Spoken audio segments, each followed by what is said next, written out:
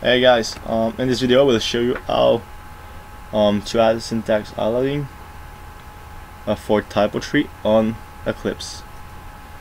So first of all we'll go on dev3.org. DEV3 is the plugin we'll use um, in Eclipse to add syntax highlighting and TypoScript file recognition. So okay now we will copy the um, update site right here. Copy that link. Then we'll open Eclipse. Um, open the help tab. Click on install new software.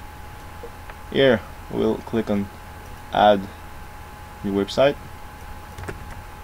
Um, location will be um, the link we just copied and the name can just write DEV3 okay.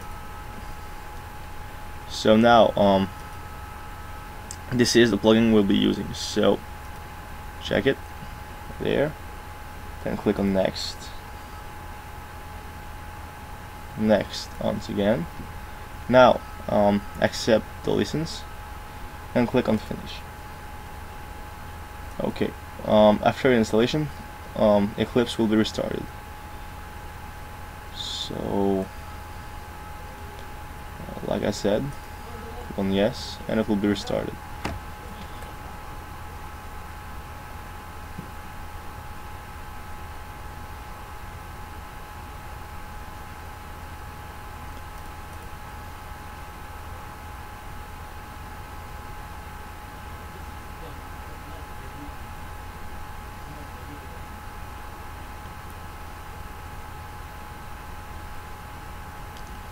Okay now you can open your um, TYPO3 project.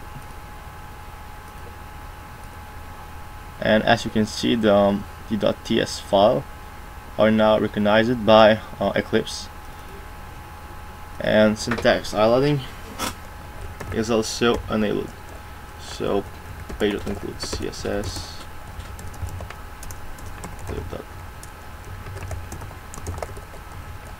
and etc. So um, that's it for this tutorial. Um, make sure to subscribe if you want um, updates on the upcoming videos and you can also follow me on Facebook and Twitter.